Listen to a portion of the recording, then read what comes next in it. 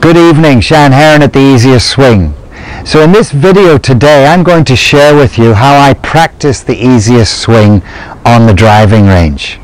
And you'll see it's a far cry away from how most you'll find most people practicing on the driving range where they just get so absorbed in positions and technical detail. So how I start is of course I will start with the dance because the dance helps to remind me of the six basics. I'm turning, I'm shifting my weight, I'm balanced, I'm coordinated, I have rhythm, and there is souplesse. I'm relaxed. From the dance, I might start to swing my legs a little bit. And if you've read Brian's book, you'll know this exercise well, the swinging legs exercise. I can't emphasize how powerful this simple exercise is because just as I mentioned, La Dance helps to remind me of the six basics. The swinging legs helps me to implement those six basics during the swing. So when I'm actually hitting the ball, in order to do it successfully with the swinging legs exercise, all those six basics have to be in place. Now there's one more thing you'll notice when I start to hit the ball is that I'm going to make some very slow swings. And as I mentioned in a previous video called the laziest swing in golf, the laziest lob shot in golf, the slower we make our movements, the higher our awareness becomes. It's all about becoming aware of what we're doing with the tool in our hands. And you can see I'm using the driver because the driver gives me the absolute truth. That club face, if it's slightly open or closed, will cause the ball to go right or left.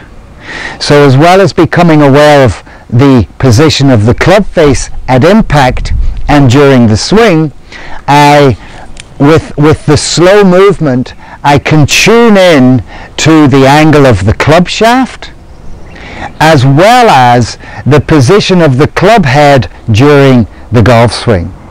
So the combination now of doing the swinging legs with the slow movement means that my awareness is very high and I'm focused on implementing the six basics.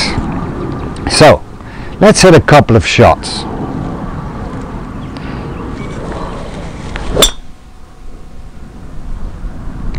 So that ball landed about 100 meters straight down the middle and ran out to about 150 meters.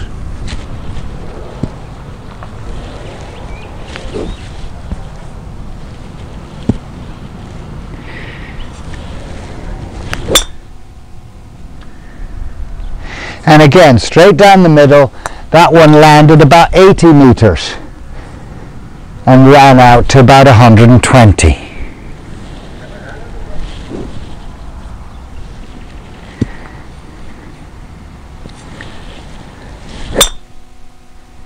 And again, straight down the middle, that landed about 60 meters, 50 or 60 meters and ran out to about 110. So now I might try one without the swinging legs just to see if I can hit the same kind of shot. And again, straight down the middle.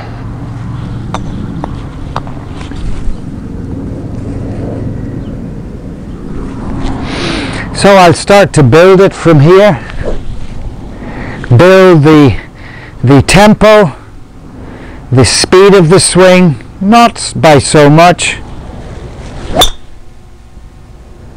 and you'll notice how I might hold my finish because when I hold my finish my brain immediately starts to reflect on the movement that I've just done and helps me to to focus in on I want to focus in on what my hands felt like during the swing. It's important to put our attention on the hands because our hands are the only link to the tool in our hands. So the hands uh, uh, will give me the biggest amount of feedback to what the tool is doing during the swing.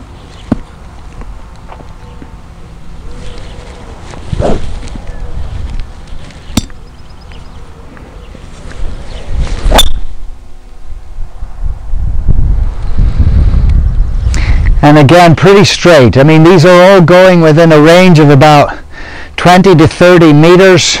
If the fairway was 20 to 30 meters wide, these are all staying on the fairway. So, I'm going to try and simulate the feeling in my hands as I do the swinging legs exercise. But this time I'm just going to allow my heels to come off the ground. Staying very, very relaxed. Really important to stay relaxed and supple because then my hands can get the greatest amount of feedback. I have the greatest amount of feel then to what I'm actually doing.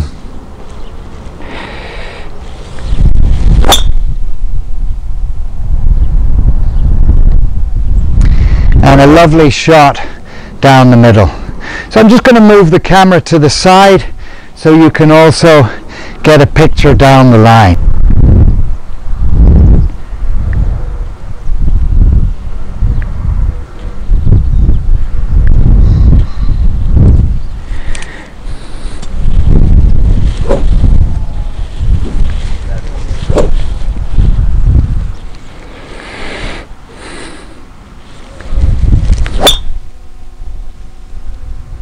Again, straight down the middle.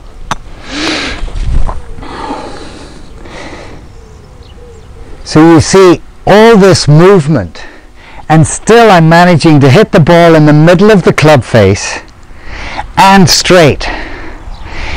What bullshit have we been sold over the last 50 years about the golf swing?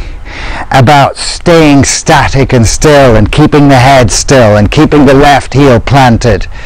You know, how many times when you've missed the ball, when you're out playing with your friends, have you been told it's because you move too much? What a load of trollop.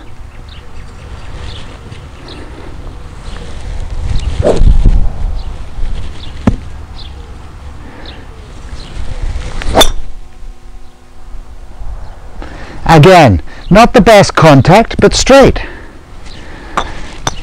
And I'm very, very, very relaxed. My grip pressure is about 2 out of 10. 10 being really, really tight and 1 being super, super relaxed like holding a baby bird. I'm about 2. And this gives me massive feedback in my hands.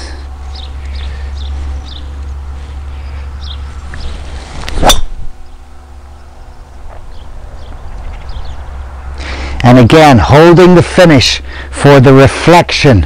My my my brain my mind goes straight into my hands. What did it feel like?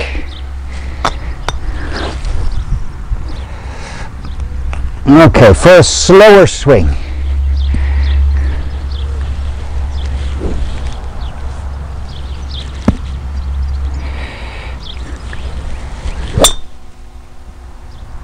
Absolutely as straight as an arrow, as straight as a slow arrow. The power of this swinging legs exercise cannot be overemphasized. I have to say Brian is a bit of a genius. Let's just do another slow one. And this time, just lifting my heels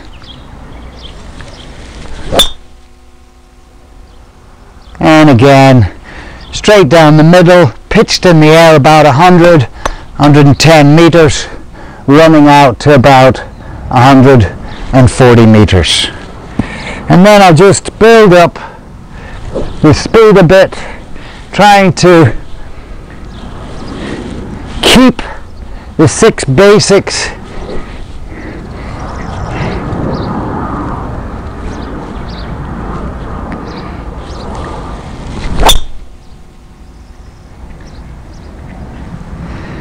and that's pitching about 175 meters. Quite difficult when you hit a, a, a, a big swing to uh, swing through. So what I like to do is just hold my finish. So I'll just switch from one to the other back and forth. And you can see how playful I'm being how dynamic this practice session is. Not like you see other golfers thinking of this and ticking off all the boxes and then most of most of the time hitting a bad shot. You can imagine how crazy this looks to them. So let's see if I can start to simulate that feeling without lifting my legs and just allowing my heels to come off the ground.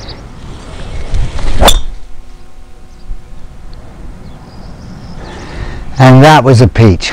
So I hope you've enjoyed watching this video and I would encourage you to go out and try this kind of dynamic practice. Doesn't it look like it's much, much, much more fun? If you've enjoyed this video, please share it with your friends as we say at the easiest swing, play it, live it, share it. By all means, come to Mallorca for one of my workshops uh, and I also am available for online coaching. So if you're on the other side of the world, for example, and you, you can't quite make it here this year, then uh, send me an email and we'll see what we'll see what we can do. All the best until the next video.